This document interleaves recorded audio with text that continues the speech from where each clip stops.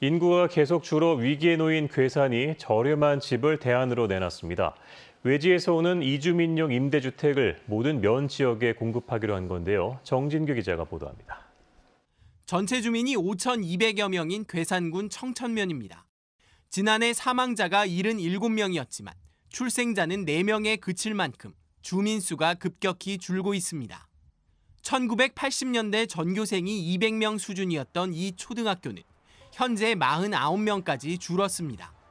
앞으로 2년 동안 입학할 학생은 3명뿐입니다.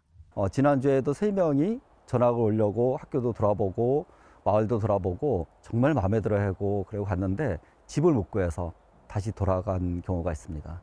상황이 이렇자 괴산군은 이 학교 근처에 주택 10가구를 짓고 전학 오는 가정에 월 10만 원 안팎으로 임대하기로 했습니다. 9개 면 지역에 180억 원을 들여 모두 88가구를 공급할 계획입니다. 집이 없어서 못 보내는 그런 학부모님들한테는 어, 이런 뭐 이사를 결심하고 실행할 수 있는데 뭐 가장 중요한 역할을 할 거라고 기대. 20여 킬로미터 떨어진 또 다른 마을에서 먼저 임대주택 12가구를 저렴하게 공급하기 시작했습니다. 한 달에 5만 원이라는 파격적인 조건을 내걸자 3년 새 57명이 새로 이사 왔습니다. 통폐합 위기였던 근처 초등학교 학생 수는 두 배 가까이 늘었습니다.